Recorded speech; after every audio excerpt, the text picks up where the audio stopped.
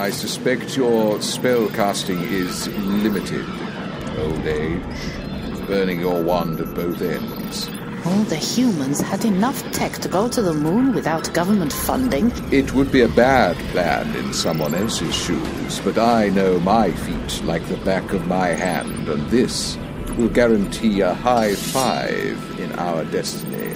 So, lots of failed attempts, a, a lot of crashed rockets, and look, abandoned mascots. Oh. Reveal yourself, Cyrano. Give me that space gun. Right. I'm pointing it at the duck and see what I'm doing. Face your fellow destiny. What have you two done? The duck. I just It's looking at us. saw it vanish away.